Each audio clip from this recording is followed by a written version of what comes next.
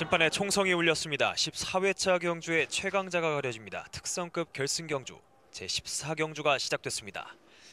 선두는 4번 신은섭 선수입니다. 4번 신은섭, 뒤쪽 2번 김연경 선수와 3번 정정교 선수, 이어서 6번 류재열 선수 뒤쪽엔 5번 강호 선수, 이어서 1번 정종진 선수, 대열 후미 7번 정혜민 선수입니다. 일본의 정종진 선수가 후미에서 앞으로 빠르게 이동하고 있습니다. 초반 대열 앞선 4번, 2번, 1번, 4번, 2번, 1번, 3번입니다. 4번의 신은섭 선수 선두 유지하고 있는 가운데 1번의 정종진 선수가 선두 자리 잡기 시도하면서 선두 전환됐습니다. 1번 정종진 선수가 선두 자리하고 있고 3번의 정정교 선수가 그 앞을 차지합니다. 3번의 정정교 선수가 선두로 전환됐습니다. 초반부터 선두 경쟁이 치열합니다. 3번 뒤쪽에 위치한 7번의 정혜민 선수 그리고 트랙 상단 기회 엿보는 5번 강호 선수와 6번 류재열 선수입니다.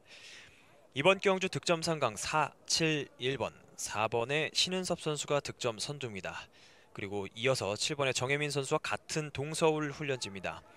4번의 신은섭 선수 득점 선두 동서울에서 훈련하고 있는 18기 선수 그리고 7번의 정혜민 선수는 동서울에서 훈련하고 있는 22기 선수 현재 득점 3강은 소수점 경쟁입니다. 그만큼 치열한데 동서울 두 명이 1, 2위 나란히 1, 2위입니다. 그리고 서, 동, 소, 수도권 서부 두 명이 1, 3번 1, 3번이 있습니다. 1, 3번 그리고 경상권 선수가 5번과 6번 지금 6번의 류재일 선수와 후미의 5번 강호 선수가 있습니다.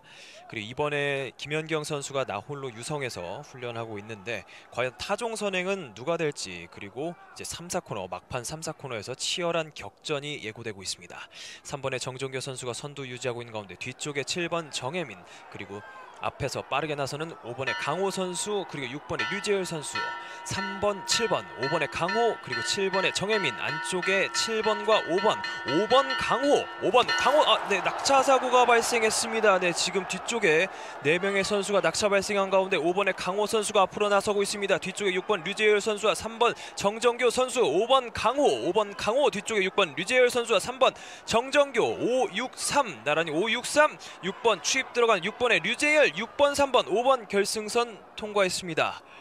네, 홈스트치 부분에서 7번의 정혜민 선수가 낙차하면서 동시에 4명의 선수가 낙차를 했습니다. 현재 지금 4명의 선수가 일어나지 못하고 있는데 3명의 선수가 결승선을 통과했습니다. 경리팬 여러분께서는 심판의 순위 확정이 있을 때까지 심판 방송 기다리시면서 경주권 보관해 주시기 바랍니다. 고맙습니다.